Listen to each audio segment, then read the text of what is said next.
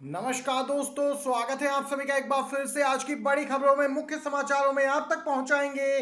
देश, दुनिया की ताज़ा बड़ी खबरें, मुख्य समाचार इस वीडियो में, जहाँ पर हरियाणा विधानसभा चुनाव, जम्मू कश्मीर विधानसभा चुनाव से संबंधित बड़ी खबरें शामिल की गई हैं। राहुल गांधी की रथ यात्रा को लेकर आ रही है बड़ी अपडेट। इस खबर को भी इसी वीडियो में आगे जानेंगे। और भी मुख्य समाचारों को जानने के लिए आप लोग बने रहिए। दोस्तों, आप भी मानते हैं हरियाणा में कांग्रेस बढ़त बना रही है तो एक लाइक वीडियो को ज़रूर कीजिएगा, कमेंट बॉक्स में ज़रूर लिख दीजिएगा। जय हिंद, जय भारत। यहाँ दोस्तों, विधानसभा चुनाव की तैयारी जोरों पर है, हरियाणा में पाँच दिन ही बचे हैं शेष वोटिंग होने में। दोस्तों, आपको बताते चले, सभी राजनीतिक पार्टियाँ चुनाव प्रचार जोरों से कर रही हैं। बीजेपी भी ज़बरदस्त तरीके से चुनावी मैदान में है तो कांग्रेस भी टक्कर देती दिख रही है। इसी बीच, ईवीएम का मुद्दा एक बार फिर से उठा है क्या कुछ अपडेट है? आप सभी को बताते चले। दोस्तों ईवीएम के मुद्दे पर इस्तीफा देने वाले आईएएस कन्नन गोपीनाथन से समझिए कि ईवीएम बैन होना क्यों ज़रूरी है। जी हाँ दोस्तों, ये वह आई अफसर हैं जिन्होंने इस्तीफा दिया ईवीएम के मुद्दे पर। आपको बताएँ ईवीएम का विरोध किया इन्होंने।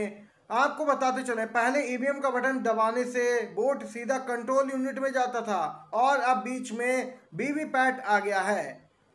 दोस्तों, इनका कहना है कि वीवीपैट में ही वोटों की हेरा फेरी होती है। जब से वीवीपैट आया है, ये हेरा फेरी और बढ़ गई है। कई संस्थाएँ बुद्धिजीवी वकील, ईवीएम को बैन करने के लिए आवाज़ उठा रहे अब भी दोस्तों, यहाँ तक कि ईमानदार अफसर भी इस्तीफा दे रहे हैं। यहाँ पर विपक्षी दल इस पूरे मामले को लगातार उठा रहे हैं कि आखिर चुनाव आयोग ईवीएम को लेकर अपनी रुख क्यों नहीं स्पष्ट करता है? क्या कुछ दबाव है चुनाव आयोग पर? दूसरी तरफ़ राहुल गांधी जोरदार तरीके से हरियाणा में बीजेपी पर हमलावर दिखाई दिए दोस्तों।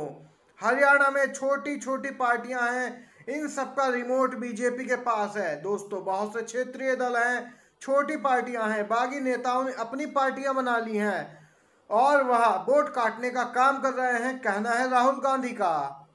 राहुल गांधी ने इन्हें क्षेत्रीय दलों पर निशाना साधा और कहा कि यही हरियाणा में छोटी छोटी पार्टियाँ हैं और इन सबका रिमोट बीजेपी के पास है। जोरदार तरीके से हमलावर नज़र आए। राहुल ने मंच पर सैलजा भूपेंद्र हुड्डा का हाथ मिलाया। जी हाँ दोस्तों, आपको बताते चले, एक साथ एक मंच पे दिखाई दी है कांग्रेस की एकता सैलजा कुमारी। जो सांसद है कांग्रेस की, उनको लेकर खबरें उड़ाई जा रही थी। वह नाराज़ है, कांग्रेस छोड़ देंगी। लेकिन दोस्तों, पूर्व सीएम भूपेंद्र हुड्डा के साथ एक मंच पे राहुल गांधी के साथ ये नज़र आई हैं। कुमारी शैलजा स्पष्ट कर चुकी है, कांग्रेस के बैनर तले हमेशा रहेंगी और वहीं से चुनावी मैदान में बनी है। दोस्तों, आपको बताते चले, हरियाणा में राहुल गांधी का रोड शो शुरू हो चुका है। अंबाला में गाड़ी में सवार होकर रैली में पहुँचे प्रियंका गांधी और राहुल गांधी। लोगों में राहुल गांधी को देखने के लिए ज़बरदस्त उत्साह देखा गया, दोस्तों। राहुल गांधी बोले, मोदी जी, गरीबों की जेब से तूफ़ान की तरह पैसा निकाल कर सुनामी की तरह अडानी जी की तिजोरी में डाल रहे हैं। गौतम अडानी की हर संभव मदद कर रहे हैं मोदी। राहुल बोले, मेरा लक्ष्य है जितना पैसा उन्होंने अपने मित्रों को दिया, उतना पैसा मैं हिंदुस्तान के गरीबों, शोषितों और वंचितों को दूँगा। दोस्तों, राहुल गांधी हरियाणा में एक बार फिर से कांग्रेस को यहाँ पे सत्ता में लाने के लिए पूरा दम दिखाते दिख रहे हैं। हरियाणा में दर्द के दशक का अंत करने के लिए कांग्रेस पार्टी पूरी शक्ति के साथ एकजुट है, संगठित है। समर्पित है, कहना है राहुल गांधी का। राहुल गांधी बोले, अब प्रदेश की 36 बिरादरियों की सरकार बनेगी, सबके हिस्सेदारी तय करने वाली सरकार बनेगी, न्याय की सरकार बनेगी। हरियाणा में कांग्रेस की आंधी आ रही है, अब हाथ बदलेगा हालात, कहना है राहुल गांधी का। दोस्तों, इन तमाम बातों से राहुल गांधी की आप भी सहमत है, समर्थन करते हैं इन बातों का तो एक लाइक वीडियो को ज़रूर कीजिएगा, अपना समर्थन दर्ज करवाइएगा। अगली अपडेट की ओर बढ़ते हैं। मिलावटी सामग्री का उपयोग प्रसाद में नहीं हुआ। तिरुपति प्रसाद विवाद पर सुप्रीम कोर्ट ने कहा, जी हाँ दोस्तों, आपको बताते चले, प्रसाद में मिलावट की खबर को लेकर काफ़ी हो हंगामा मचा। हिंदू संगठनों ने हल्ला बोला। सुप्रीम कोर्ट ने सीएम नायडू पर सवाल खड़े किया इस समय की ताज़ा बड़ी खबर, तिरुपति प्रसाद मामले पर सुप्रीम कोर्ट ने उठाए सवाल। तिरुपति लड्डू मामले में सीएम नायडू को सुप्रीम कोर्ट ने लगाई फटकार। कहा, भगवान को राजनीति से दूर रखें। दोस्तों, सुप्रीम कोर्ट ने आंध्र के सीएम और बीजेपी के मुख्य सहयोगी पार्टी टीडीपी प्रमुख चंद्रबाबू नायडू को जम के फटकार लगाई और कहा कि जुलाई में आई रिपोर्ट पर दो महीने बाद बयान आखिर क्यों दिया? सुप्रीम कोर्ट ने कहा कि आपने 26 सितंबर को एसआईटी बनाई, लेकिन बयान उससे पहले ही दे दिया। इस पूरे मामले पे टीडीपी की जब ज़बरदस्त तरीके से दोस्तों किरकिरी हुई, सुप्रीम कोर्ट ने फटकार लगाई और कहा कि भगवान को राजनीति में शामिल ना करें, दूर रखें। बड़ी खबर दोस्तों, अभी अभी सामने निकल के आ रही है, क्या एक एक करके पीएम मोदी का साथ छोड़ रहे हैं? बीजेपी नेता, पिछले साल मध्य प्रदेश विधानसभा चुनाव में शिवराज सिंह चौहान के नेतृत्व में भाजपा को बम्पर जीत मिली थी।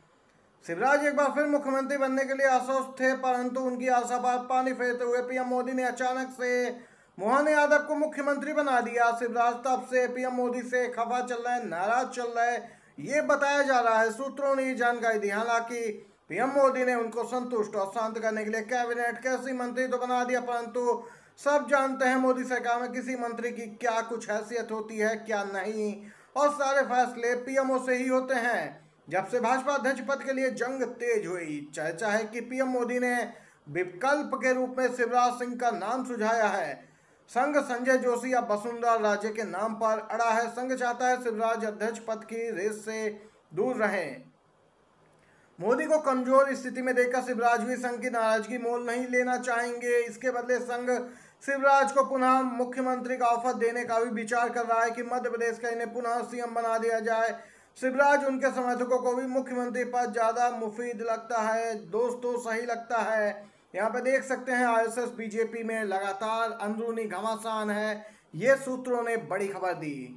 हरियाणा चुनाव को लेकर आ रही है ताज़ा बड़ी खबर। जी हाँ प्रियंका गांधी उतर चुकी हैं चुनावी मैदान में। दोस्तों, आप सभी को बताते चले, राहुल गांधी, प्रियंका गांधी ने ज़ोर शोर से चुनाव प्रचार शुरू किया है। जो लोग संविधान बदलने की बात करते हैं, उन्हीं को यहाँ पे हरियाणा की जनता बदल देगी। गर्जी है प्रियंका गांधी अम्बाला में कांग्रेस नेता प्रियंका गांधी वाड्रा ने हरियाणा के नागरिकों से भाजपा सरकार को उखाड़ फेंकने का, खारिज करने का आग्रह किया उन्होंने।